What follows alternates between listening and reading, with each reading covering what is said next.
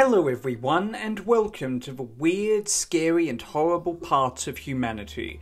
Radio presenters and DJs become a part of our lives, bringing us the news, entertaining us, creating controversy, and making our journeys to work that bit more bearable.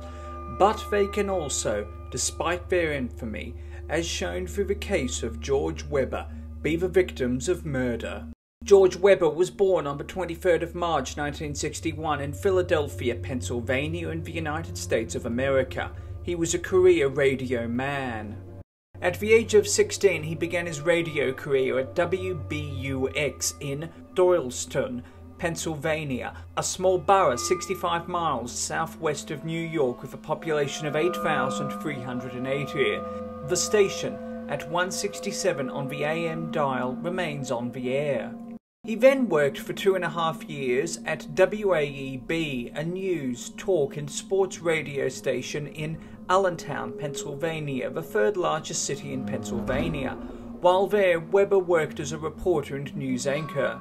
He then became an anchor and street reporter at KIMN, a radio station based in Denver, Colorado, before moving to KOA as the host of a nighttime talk show. Traveling across the country, he worked at KGO in San Francisco, California, before moving to KOGO, a news radio station in San Diego, California, KRIB, San Diego, California,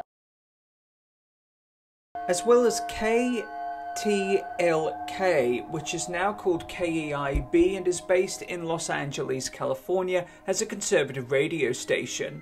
He then moved to KMPC in Los Angeles, a commercial AM radio station broadcasting to the Korean population in Los Angeles. In the late 1990s, he moved to New York and reached the pinnacle of his career, working on the morning show providing periodic news updates on the WABC radio station, which was then the flagship radio station for the ABC radio network. However, in February 2008, he was fired from WABC due to a lackluster financial performance in the station, as well as the long running radio show Imus in the Morning, hosted by Don Imus, having its own newsman, which took over the WABC morning show. Following intense contractual negotiations in April 2008, he began doing news updates for the ABC radio network. Weber lived in Brooklyn in an apartment on Henry Street in Carroll Gardens. He was an openly gay man and owned two dogs. On Saturday, the 21st of March 2009, Weber did not show up for work and his co workers became concerned and telephoned the NYPD. On Sunday at 12.30am on the 22nd of March 2009, police did not notice anything amiss outside his Henry Street apartment and left. Police returned at 8.30am on the same day at the insistence of his ABC radio colleagues, with Weber still not showing up for work. A neighbour informed police that he had heard water running all night in Weber's apartment. The neighbour also noted seeing someone speaking on a payphone outside of the apartment building. Upon entering his apartment, Weber's corpse was found, having been stabbed more than 50 times in the neck, chest, and arms, with his guest bedroom ransacked. Water was still running in the apartment's bathtub and kitchen sink, with investigators believing that the killer had used the water to clean themselves up. There was also no sign of forced entry.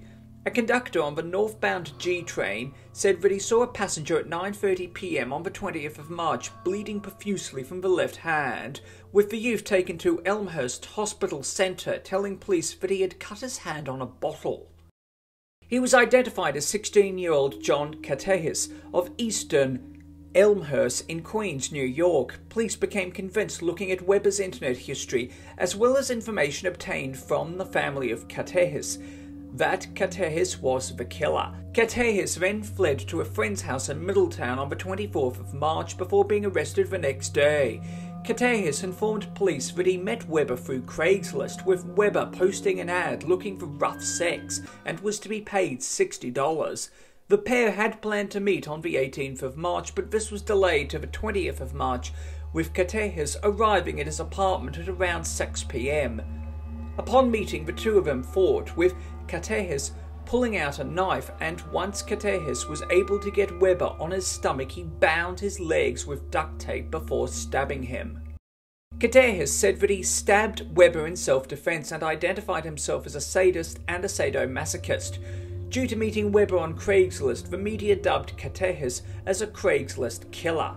Charged as an adult with second degree murder and criminal possession of a weapon, Katehis pleaded not guilty, with his lawyers claiming that there was an ongoing relationship between the pair and that Weber was a sexual predator. Following a mistrial, Katehis was convicted in 2011 at a retrial and sentenced to 25 years to life in prison, with his claim of self defense rejected.